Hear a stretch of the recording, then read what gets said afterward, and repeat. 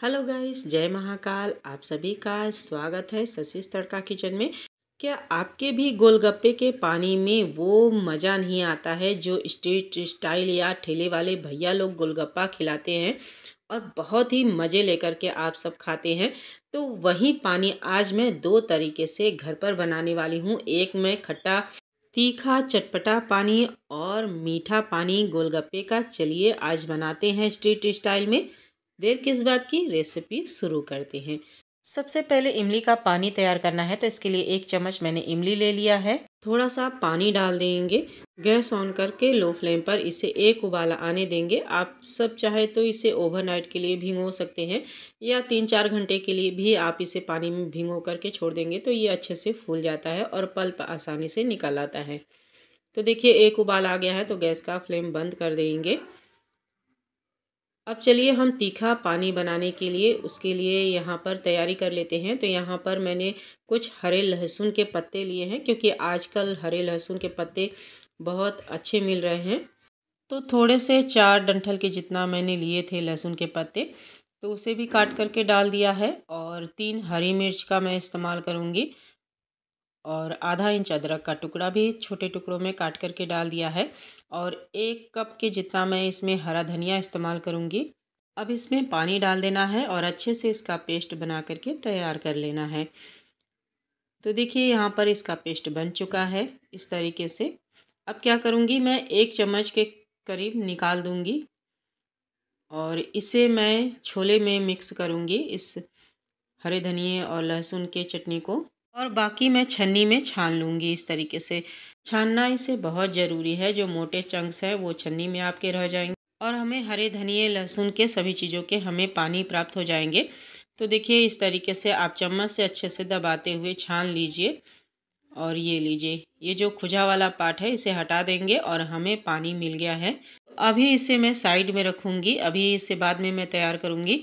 जो हमने इमली उबाल करके रखा था तो उसे मैं ठंडा हो गया है तो इसे अच्छे से मसल लेती हूँ।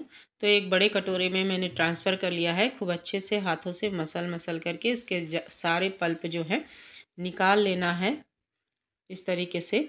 और उसी छन्नी को वापस से मैंने ले लिया है और छान करके इसे मैं ले लूँगी। तो देखिए, इमली का पल्प पतला सा निकल करके तैयार हो गया है। सबसे पहले हम मीठा पानी बना लेते हैं तो उसके लिए मैं आधा इमली के पल्प को एक पतीले में डाल दूँगी और थोड़ा सा मैं बचा लूँगी तीखा पानी बनाने के लिए। अब गैस ऑन कर दिया है और यहाँ पर मीठे के लिए मैं यहाँ पर गुड़ का इस्तेमाल कर रही हूँ मीठा पानी बनाने के लिए। अब इसमें गुड़ को डाल देना है तो तीन गुड़ का इस्तेमाल किया है। आप सब चाहे तो चीनी का भी इस्तेमाल कर सकते हैं, ये आपके ऊपर निर्भर है कि आप गुड़ वाला पानी बनाना चाहते हैं या फिर चीनी वाला। लो फ्लेम पर इसे उबलने देंगे जब तक कि गुड़ जो है मेल्ट नहीं हो जाता है। तो आप गुड़ को मेल्ट होने तक इसे उबाल लीजिए और इसमें आधा छोटा चम्मच के जितना मैंने काश्मीरी लाल मिर्च पाउडर डाल दिया है, इससे हमारे पानी में कलर बहुत अच्छा आएगा। तो इसे लो फ्लेम पर पकने देते हैं। दूसरे साइड मैंने तवा रख दिया है। गोलगप्पे के पानी के लिए मसाला तैयार करने वाले हैं। तो यहाँ पर एक चम्मच जीरा ले लिया है साबुत और आधा चम्मच काली मिर्च एक चम्मच सौफ़, यानी जितना जीरा लिया है, उतना ही सौफ़ का इस्तेमाल करना है हमें, और एक छोटी इलायची। तो इन सभी को अच्छे से हमें, जब तक इसमें से अच्छे से खुशबू नहीं आ जाती है, तब तक हमें भून लेना है। यानी इसे हल्का सा सुनहरा होने तक भून लेना है चलाते हुए।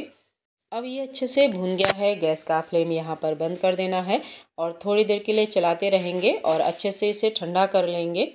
जब ये अच्छे से ठंडा होगा, तब इसका हम पाउडर बनाएँगे। तो चलिए इसे ठंडा होने देते हैं। आ जाते हैं आप अपने गोलगप्पे पानी को बनाने की तरफ़। तो यहाँ पर ग्रीन वाला पानी जो मैंने रखा था और बाकी जो इमली का पल्प मैंने बचा करके रखा था, वो इसमें डाल देना है। यानी आधा छोटा कप के जितना मैंने पल्प को बचा करके रखा था और बाकी पानी यहाँ पर उबल गया है। तो गुड़ अच्छे से मेल्ट हो गया है। गैस का फ्लेम यहाँ पर बंद कर देंगे। और जो हमने मसाला तैयार किया था, वो भी अच्छे से ठंडा हो गया है तो इसे खलबट्टे में मैं अच्छे से पाउडर इसका कूट करके बना लूँगी। आसानी से ये कूट करके पाउडर बन जाता है। अगर ज़्यादा क्वांटिटी में आप बना रहे हैं मसाला गोलगप्पा पानी के लिए तो आप इसे ग्राइंडर में भी डाल करके पीस सकते हैं। तो आप सब देख सकते हैं, बहुत अच्छा पाउडर बन करके तैयार हो गया है। तो आधा आधा मात्रा में दोनों में हम यहाँ पर ये मसाला डाल देना है। और यहाँ पर आधा चम्मच के जितना मैंने दोनों में चाट मसाला डाल दिया है, नमक स्वाद के अनुसार जाएगा।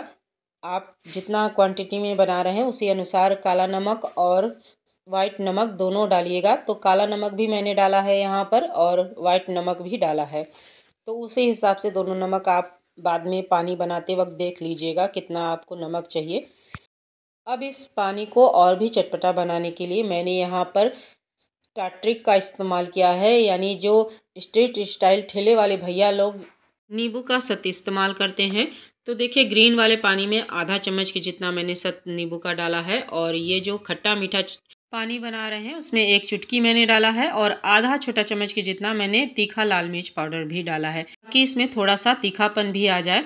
तो इसे आप साइड में रखते हैं, चलिए अब तड़के की तैयारी कर लेते हैं। गैस ऑन करके कलछुट रख दिया है और उसमें आधा चम्मच के जितना मैंने तेल डाल दिया है सरसों का, तेल जैसे ही अच्छे से गर्म हो गया है तो आधा चम्मच जीरा और आधा चम्मच हींग डाला है।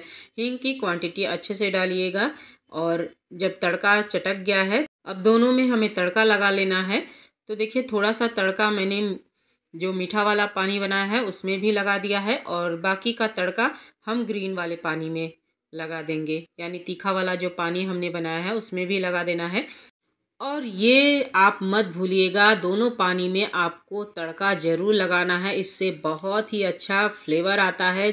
अगर आप ठेले वाला जैसा स्वाद चाहते हैं तो ये तड़का ज़रूर लगाइएगा, इस तड़के को लगाना मत भूलिएगा पानी में। अब देखिए, मैंने दोनों में पानी डाल दिया है, यानी आधा आधा गिलास मैं दोनों में पानी मिक्स कर लूँगी और अच्छे से मिला लूँगी सभी चीज़ों को। तो जब आपका पानी तैयार हो जाए तो एक बार नमक टेस्ट कर लीजिएगा। अगर कम लगता है तो नमक आप डाल दीजिएगा इसमें। गोलगप्पे का पानी तैयार है, यानी मीठा पानी भी तैयार है और तीखा पानी भी तैयार है। और सबसे महत्वपूर्ण बात, जब आपका पानी तैयार हो जाए तो कम से कम एक से दो घंटे के लिए इसे ढक करके रख दीजिए साइड में, ताकि सभी चीज़ों का फ्लेवर जो है पानी में अच्छे से आ जाए तो अब इसे मैं अच्छे से मिला लूँगी और इसे कवर करके दो घंटे के लिए मैं रख दूँगी। और जब आपको सर्व करना हो तो इसमें तुरंत बूंदी डाल दीजिए और अच्छे से मिला लीजिए एक बारी और आप इसे गोलगप्पे के साथ इन दोनों पानी को एंजॉय कर सकते हैं। तो यकीन मानिए दोस्तों, मीठा पानी भी बहुत ही चटपटा बना था अच्छा बना था और तीखा पानी भी बहुत ही टेस्टी बना था तो मैंने ये स्ट्रीट स्टाइल वाला पानी बनाना ठेले वाले भैया से ही सीखा है। इसी तरीके से उन्होंने मुझे बताया था। दोनों तरीके का पानी तैयार है और छोले भी तैयार है मेरे, गोलगप्पे भी तैयार है। तो चलिए फटाफट से इसे सर्व कर लेते हैं दोनों पानी के साथ। फूले फूले गोलगप्पे कैसे बनाते हैं? घर पर आसान तरीके से इसकी रेसिपी मैंने अपने चैनल पर पहले ही दी हुई है। आप सभी चाहे तो गोलगप्पे कैसे बनाते हैं, इसकी रेसिपी ससीस तड़का किचन पे आप सभी को मिल जाएगा। आप सब सर्च करके देख सकते हैं। तो चलिए, अब मैं जा रही हूँ अपने गोलगप्पे एंजॉय करने। और यकीन मानिए दोस्तों, मैं बता नहीं सकती, दोनों तरीके का पानी बहुत ही टेस्टी यमी बना था। अब गोलगप्पे का स्ट्रीट स्टाइल में पानी बनाना हुआ आसान। तो मिलेंगे एक नई रेसिपी के साथ। तब तक के लिए बाय